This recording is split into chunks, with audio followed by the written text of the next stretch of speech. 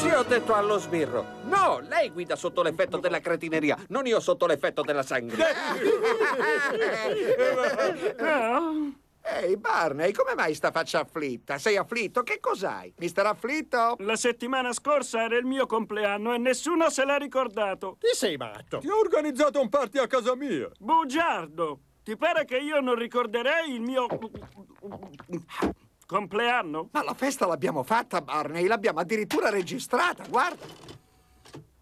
Ecco, così, pupa. Tutta per Bo, sì. Avvicinati alla fessura. Dai, mostrami il pacchetto. Mm. Eh, eh, beh, eh, questo è, è- è un progetto su cui sto lavorando, scusate. Ok, mamma.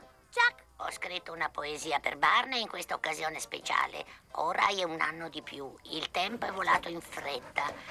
Bart! Dammi qua.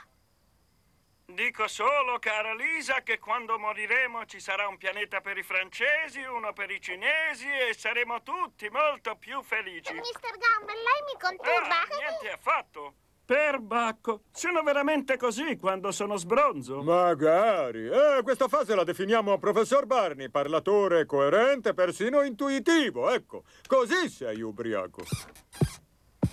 Io vado al mercato, tesoruccio. Marge, stai facendo una pessima figura con... Oh, è solo Barney. No!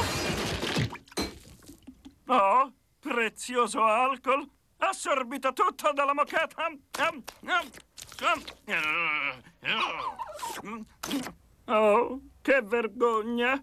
E questo com'è successo? Oh, quello, quello ce l'hai da parecchio. Mi non riesco mica a immaginarti senza. Oh, faccio proprio pena. Sei penosamente esilarante. Sei svenuto prima che potessimo darti i nostri regali. Ecco il mio, se è una cosa di cui nessun ubriaco può fare a meno. Carta da lettera del giorno dopo. Ecco il mio regalo, lezioni di volo in elicottero. Ve la immaginate questa zampogna con la cloche in mano che farebbe? Direbbe a tutti, guardatemi, sono un pilota a schiappa che ha fatto il pieno. eh beh, eh, comunque buon compleanno, bello.